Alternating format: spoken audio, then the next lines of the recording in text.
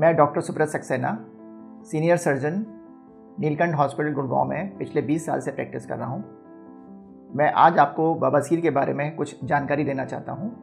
बवासीर ऐसी बीमारी है जो हर दूसरे आदमी को है, लेकिन हम लोग उसको समय पर पहचान नहीं पाते, इसलिए हम नुकसान उसका बाद में भुगतते रहते हैं। अगर हम बवासीर को समय पर ध्यान दे लें और समय समय पर इसको पहचान लें तो कम से कम इसके कॉम्प्लिकेशंस इसके जो नुकसान होते हैं बाद में उससे बच सकते हैं। पहले हम बवासीर को समझने समझते हैं कि बवासीर होती कैसे है और कहाँ पर होती है। इसको समझने के लिए मैं एक छोटा सा डायग्राम आपके सामने दिखा रहा हूँ। ये एक लेटरिन का रास्ता है, जिसमें आपको ऊपर एक रेक्टम नाम की चीज़ दिख रही है रेक्टम और नीचे एनल कैनाल रेक्टम में बवासीर होता है और नीचे एनल कैनाल में वो बढ़ के आ जाता है। बवासीर क्या है? एक खून का गुच्छा है। अगर उस खून के गुच्छे में अगर खून इकट्ठा हो जाएगा तो वो बवासीर बन जाएगा। अब बवासीर कैसे बढ़ती है? बवासीर कैसे बनती है, ये मैं आपको बताता हूँ। ये खून की नसें जो आपको दिख रही हैं, इसमें खून का दबाव आता है। जब इसमें खून का दबाव ज़्यादा आ जाता है, जिसको हम वीनस प्रेशर बोलते हैं, तब ये खून की नसें में खून इकट्ठा होना शुरू हो जाता है। एक दिन में कुछ नहीं होता धीरे धीरे करके इसमें खून का दबाव बढ़ता जाता है और खून इकट्ठा होना शुरू हो जाता है। धीरे धीरे करके ये नसें फूलने लगती हैं और फूली हुई नसों को हम बवासीर बोलते हैं। दूसरा तरीका होता है बवासीर बनने का, जब हमारी मांसपेशियाँ कमज़ोर पड़ जाती हैं। जो खून की नसें हैं, वो एक मांसपेशी के ऊपर टिकी हुई हैं। अगर वो हमारी मांसपेशियाँ कमज़ोर हो जाएँगी तो खून की नसें नीचे लटकने लगेंगी, नीचे खिसक के नीचे आ जाएँगी, जिसको हम बवासीर बोलेंगे। तीसरा तरीका होता है कि हमारी, जब हम ज़ोर लगाते हैं, जब हमारी नीचे का स्फिंक्टर जिसको बोलते हैं, वो कमज़ोर पड़ जाता है। अगर स्फिंक्टर कमज़ोर पड़ जाएगा तो उसमें बवासीर निकल के बाहर आ जाएगी। तो उसको भी एक तरह का बवासीर बोला जाता है। अब बवासीर कितनी तरह के होती है?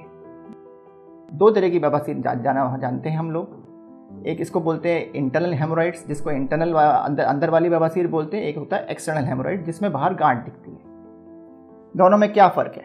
जो बाहर वाली एक्सटर्नल होती है, बाहर वाली में आपको एक खून का गुच्छा दिखाई देगा, जो चमड़ी से कवर्ड होगा, और वो एक गांठ सी दिखती है जो बहुत दर्द करती है। उसको एक्सटर्नल हेमोराइड बोलते हैं।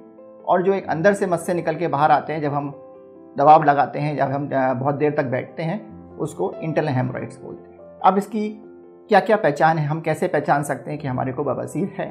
सबसे बड़ी अहम बात होती है कि जब हमें लेटरिन करने में बहुत देर तक बैठते हैं, जब हम टॉयलेट सीट पे बहुत देर तक बैठते हैं, तब लेटरिन निकलती है तो समझ लीजिए आपको कोई दिक्कत शुरू होना हो गई है। दूसरा है कि अगर हमें कभी ब्लीडिंग आती है लेटरिन के रास्ते तो समझिए बवासीर बनना शुरू हो गई।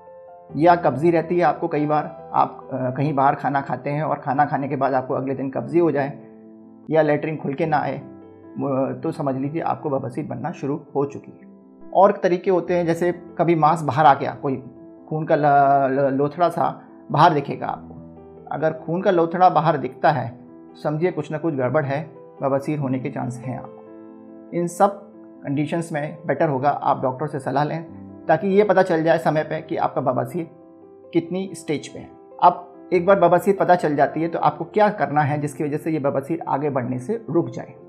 सबसे अहम बात है कि आप जितना पानी पियेंगे, जितना पानी कम से कम पाँच से छः लीटर पानी पियेंगे तो ये बवासीर आगे बढ़ना रुक जाएगी। इससे क्या फ़ायदा होता है? जब हम पानी पीते हैं तो हमारा जो मोशन होता है, जो मल होता है, वो पतला होना शुरू हो जाता है, वो सख्त नहीं होता, जिसे हम कॉन्स्टिपेशन बोलते हैं। दूसरा तरीका है जितना हम हरी सब्ज़ियाँ खाएँगे, जितना हम पपीता, सेब या बनाना, ऐसी चीज़ें खाएँगे, फल खाएँगे, हमारा बवासीर बनना रुक जाएगा क्योंकि सब में फाइबर होता है। फाइबर का मतलब रेशा। जितना रेशा हम खाएँगे, उतना हमारा मल जो है वो पतला हो जाएगा और हमारे को बवासीर बढ़ने से रुक जाएगी। दूसरा, जितना आप, अगर आप नॉनवेज खाते हैं मीट मछली खाते हैं तो उसको कम कर दीजिए। क्योंकि अगर आप मीट मछली खाएँगे तो इससे बवासीर बढ़ती चली जाएगी। एल्कोहल है, दारू है, सिगरेट है, जितना आप कम करते चले जाएँगे, उतना आपको बवासीर बढ़ने से रुक जाएगी। जो बवासीर इनिशियल स्टेजेस की होती है, जैसे ग्रेड वन जिसे बोलते हैं हम लोग, जो शुरू के स्टेज में आती है, उसको आप आराम से निजात पा सकते हैं।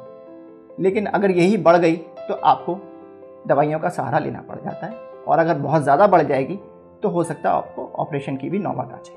खाने के लिए आप कम से कम आटा जो इस्तेमाल करते हैं, उसमें फाइबर होना चाहिए, जिसको कहते हैं ग्रेन मल्टी ग्रेन आटा जिसे बोलते हैं, जिसमें बहुत ज़्यादा ब्राउन जिसे बोलते हैं, वो होता है, वो फाइबर होता है, उसको ज़्यादा जितना ज़्यादा खाएँगे, उतना हमारे को फ़ायदेमंद होगा। जितना हम अपनी सेहत बनाएँगे, जितना हम एक्सरसाइज करेंगे, जितना हम वॉकिंग करेंगे, जितना हम स्विमिंग वगैरह एक्सरसाइज करेंगे, हमारी मांसपेशियाँ टाइट हो जाएँगी। जितना हम टाइट रखेंगे मसल्स को अपने, उतना हमारे को बवासीर आगे बढ़ने से रुक जाएगी।